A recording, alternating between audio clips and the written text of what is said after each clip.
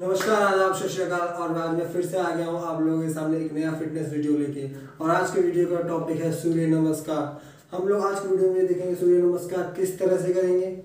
सूर्य नमस्कार करते हुए सांसों की गतियों पर कैसे ध्यान देंगे, सांस लेना कब है, सांस छोड़ना कब है।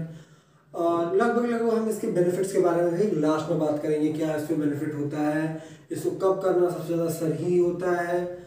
इसको कैसे करना चाहिए, गलत तरीके से करने से क्या क्या प्रॉब्लम हो सकते हैं? सही तरीके से करने से इसके बहुत सारे फ़ायदे हैं जो कि मैं आपको बाद में बताऊँगा। तो हम लोग सबसे पहले देखते हैं इसको किस तरह से किया जाता है विथ मंत्रा इसके कुछ मंत्र होते हैं। हर स्टेप के अलग अलग मंत्र होते हैं। बारह स्टेप तो बारह अलग अलग मंत्र होंगे। बारह अलग अलग मंत्रों के साथ इसको कैसे किया जाता है, हम पहले वो देखेंगे, फिर उसके बाद इस टॉपिक पे आगे बात करेंगे। हम्म। सबसे पहले आपको खड़े होना है और हाथों को जोड़ना है। और आपको ये पोजीशन होल्ड करते हुए पूरा बॉडी रिलैक्स सांस धीरे धीरे इनहेल धीरे धीरे एक्सहेल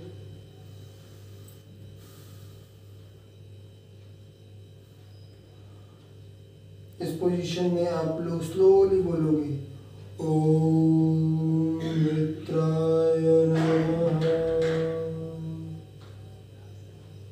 फिर दूसरा पोजीशन धीरे धीरे हाथ पीछे जाएगा। सांस लेते हुए।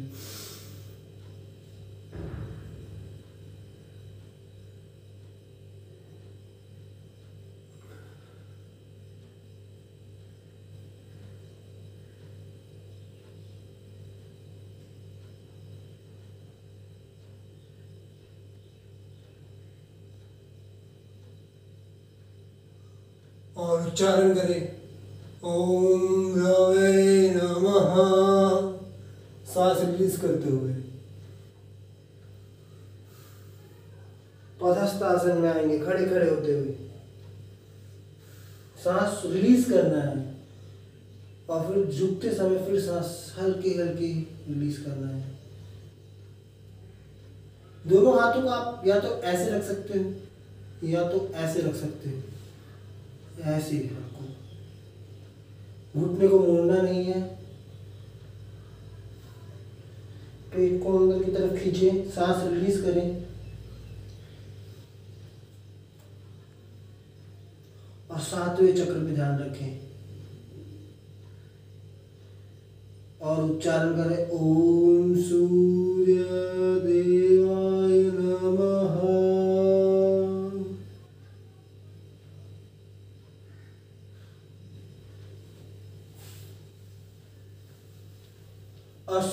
संचालन आसन सांस लेते हुए। इस पोजीशन में है और फेस ऊपर।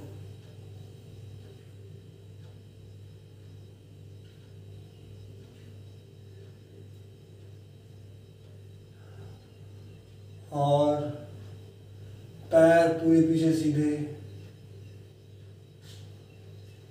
लेकिन बॉडी हल्का चाहिए पूरा वेट हाथों पे और सामने वाले पैर के पैर पे वेट होना चाहिए। और घुटने को नीचे हल्का टच करते हुए उस पर वेट दे दें। और पीछे। कमर को मोड़ने की कोशिश। चेहरा सामने।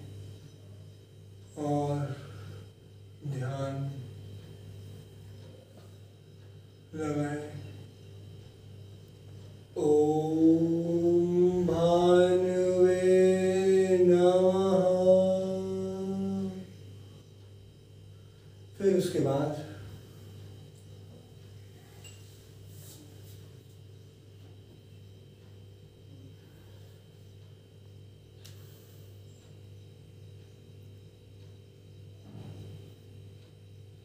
सांस पूरी तरह से छोड़ देना है। पूरा वेट पैरों की तरफ़ और हाथों पे। सर दोनों हाथों के बीच में होगा। दोनों पैर पे वेट ज़्यादा होगा और कोशिश करना है कि एड़ी जो है, वो ज़मीन पर रहे।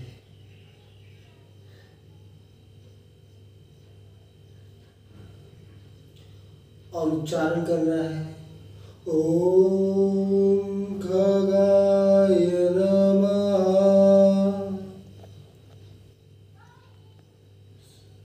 छठी स्थिति अष्टांग नमस्कार सांस को रोक दीजिए और हाथों को बॉडी के पास और पैर हल्की मुड़ी हुई, छाती हल्की मुड़े हुए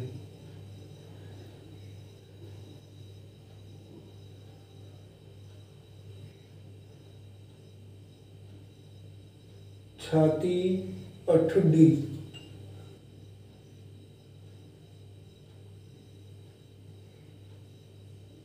घुटना हल्के ज़मीन पे।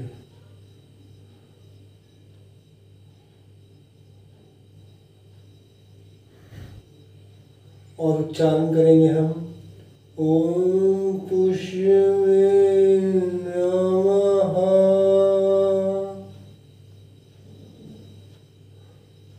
और यहीं से धीरे धीरे भुजंगासन करते हुए पूरी कमर से सांस लेते हुए हाथ पूरी तरह सीधे पूरी तरह से मोड़ देंगे बॉडी को सर पीछे की तरफ़ ऊपर की तरफ़ आगे खुलनी चाहिए आगे बंद कर लो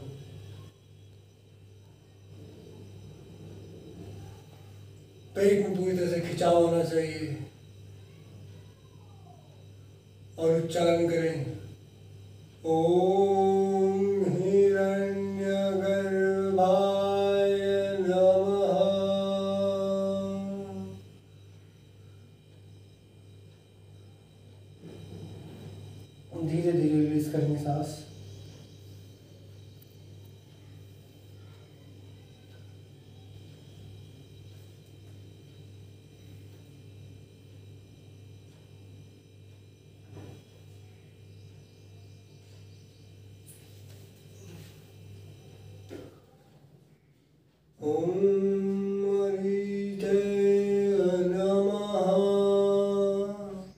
उच्चारण करेंगे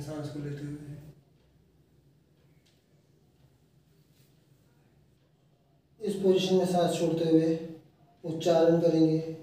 ओम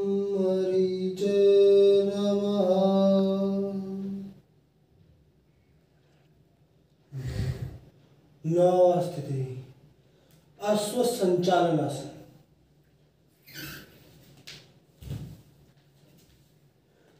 इसका नाम अश्व संचालन इसलिए भी रखा गया ताकि लग- लगता है देख के दौड़ रहा है कोई इंसान और बॉडी को स्ट्रेच करे। फिर इसके बाद, ओम आदित्याय नमः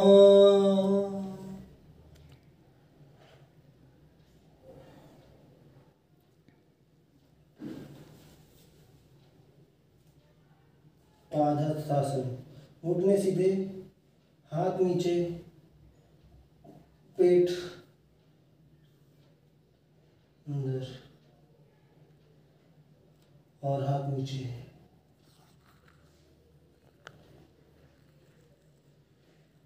उच्चारण करें। ओम सवित्रे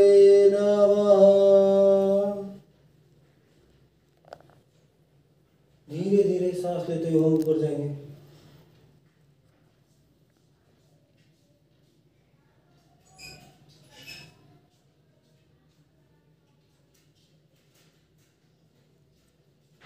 सांस रिलीज़ करते हुए पीछे जाएँगे।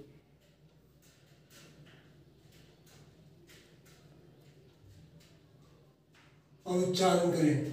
ओम नमः।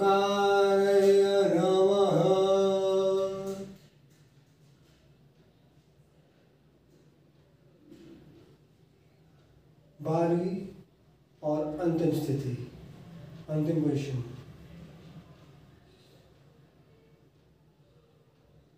सांस normal breathe in and breathe out और बॉडी को पूरा रिलीज़ छोड़ दो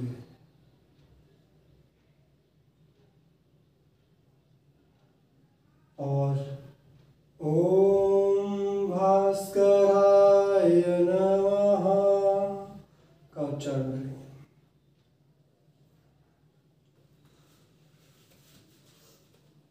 जैसा कि आप लोग देख सकते हैं कि एक बार सूर्य नमस्कार परफॉर्म करने में पूरी तरह से स्वेट स्वेट हो चुका हूँ। वैसे पहले स्वेट नहीं था। सूर्य नमस्कार आपके हर एक बॉडी पार्ट को, हर एक मसल को एक्टिव करती है। तो ये आपको करना बहुत बहुत बहुत ज़्यादा ज़रूरी है। किस तरह से करना है, मैंने बता दिया, सांसों को किस तरह से लेना है, किस तरह से छोड़ना है, बता दिया। मंत्रों और जाप किस तरह से करना है, ये बता दिया। मैंने तो बहुत स्लो किया, क्योंकि मैं एक एक पोजीशन को एक एक बार में एक्सप्लेन कर रहा था। प्लस सांसों को कैसे लेना है, छोड़ना है, इसके बारे में बात कर रहा था। कौन कौन सी मन, कौन कौन से मंत्रों कब कब बोलना है ये बता रहा था। लेकिन आप लोग को ये थोड़ा तेज करना है। लेकिन आप लोग को ये थोड़ा तेज करना है ताकि आप लोगों का पूरा बॉडी अच्छे से वार्म अप हो जाए। जो वर्ल्ड रिकॉर्ड है इसमें वो world record near about twelve नहीं सॉरी एक मिनट में तीन सौ तीन सौ सूर्य नमस्कार का वर्ल्ड रिकॉर्ड है। और कहीं डाटा में हम लोगों ने पढ़ा था कि शुरुआत में इंसान 1200 सूर्य नमस्कार एक दिन में कर लिया करते थे। एक दिन में 1200 सूर्य नमस्कार। अगर आप 50 सूर्य नमस्कार भी करें तो ये बहुत ज़्यादा है। पचास सूर्य नमस्कार पर डे अगर आप करें तो आपका बॉडी हमेशा फिट रहेगा। No need for gym and no need for anything else stay fit eat healthy